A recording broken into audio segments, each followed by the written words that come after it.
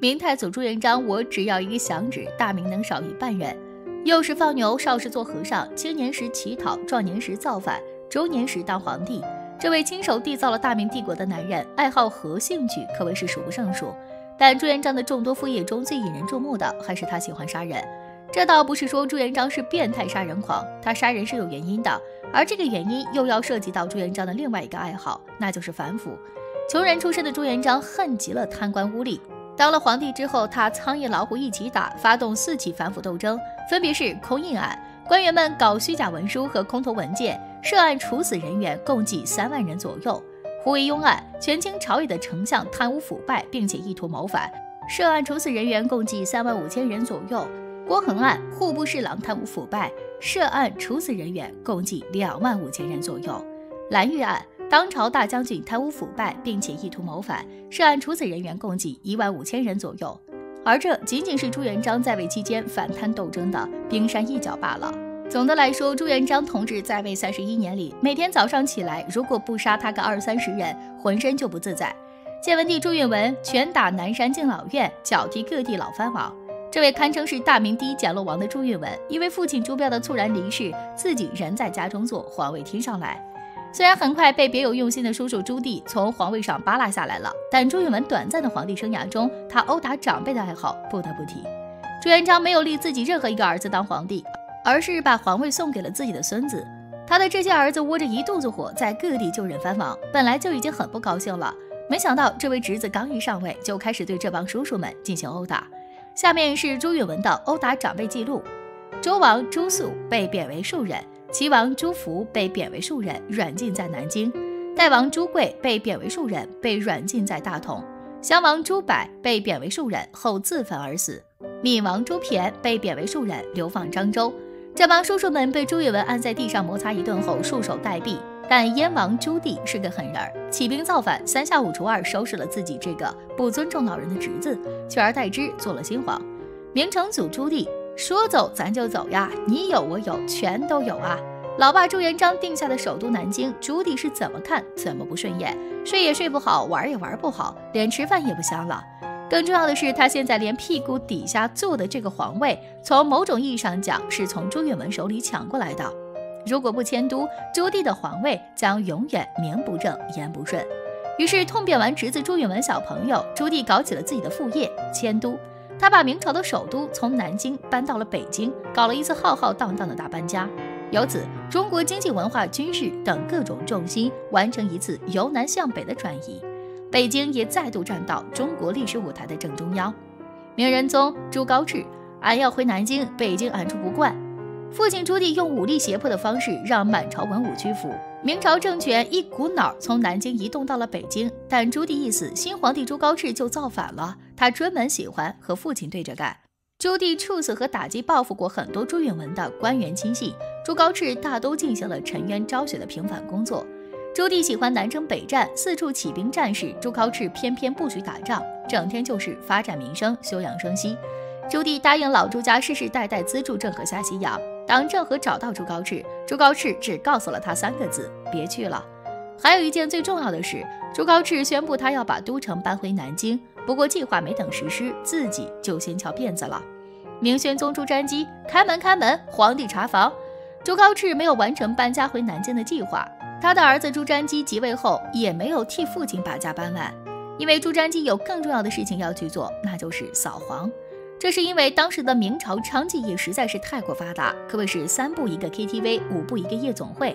大明朝的达官显贵们只要一个班儿，就全都钻进这些黄色窝点进行消费。于是朱瞻基开始了中国第一次大规模的扫黄行动，成果如下：北京三分之二的妓院遭到查封倒闭，南京三分之二的妓院全部关门歇业，全国十三个省份的绝大部分妓院均停业整顿。同时，朱瞻基颁布了明朝历史上最严格的嫖娼行政处罚规定，内容如下：官员嫖娼直接双开，开除官籍和公职，并且并不录用；书生士子如果参与嫖娼，取消高考成绩，永不录用。但看似卓有成效的扫黄行动，其实并没有起到多大作用。官员们从妓院嫖娼创造性的改成了在家里嫖娼，嫖娼的人不仅没有变少，而且成倍增长。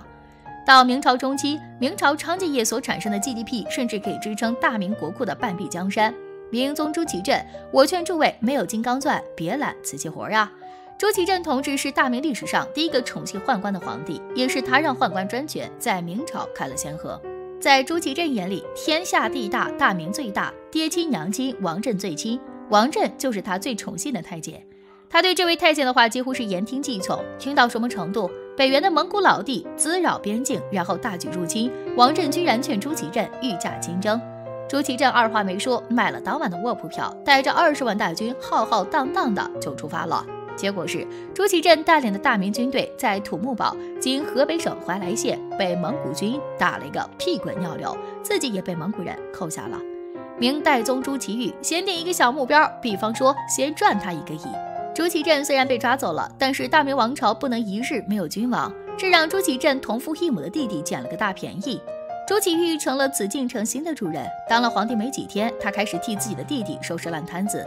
其中包括任用文臣于谦力挽狂澜，打赢北京保卫战，发展经济，全国各地推行节约，一天攒下一块钱，向成为大明首富的小目标进发。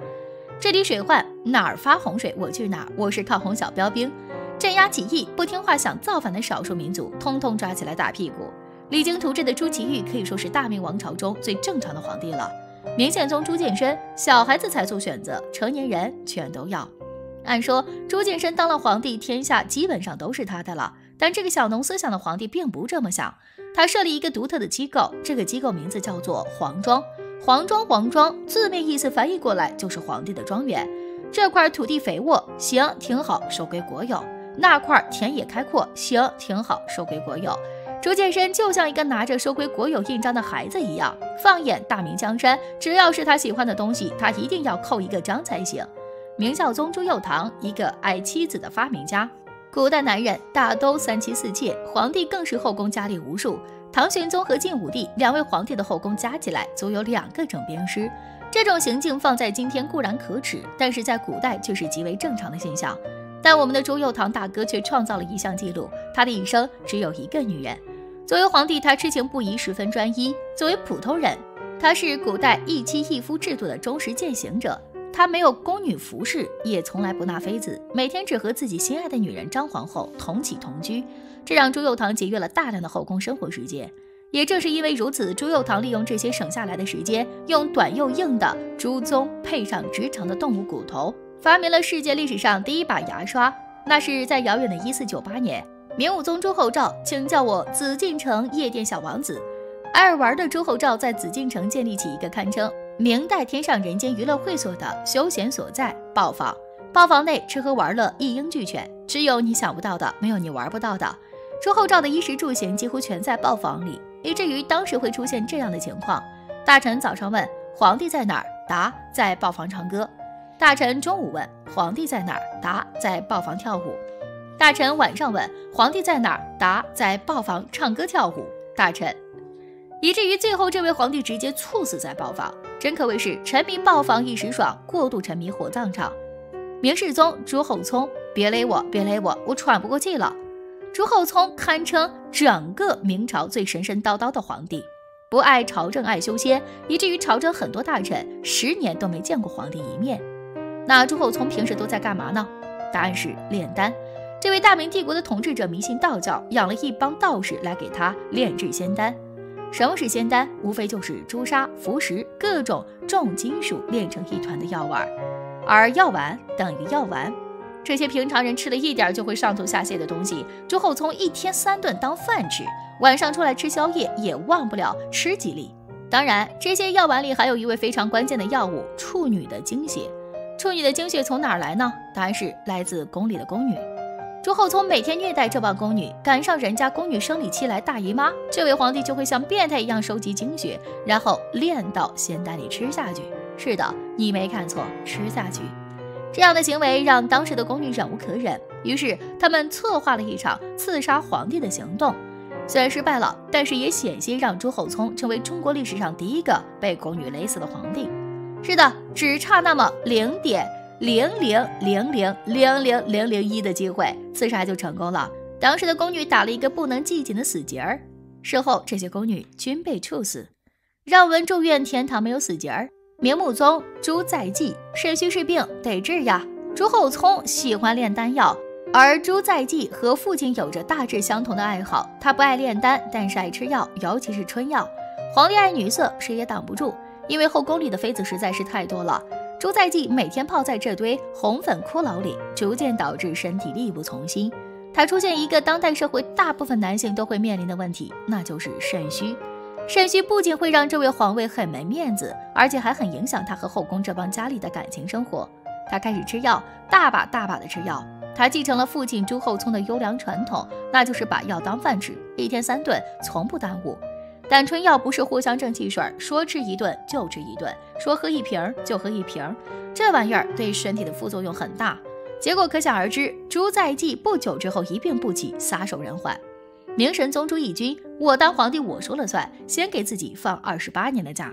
朱翊钧在位四十八年，是明朝执政时间最长的皇帝，但四十八年里，朱翊钧只上了二十年的朝，导致当时的大臣在朝堂工作了一辈子，也不知道皇帝长什么样。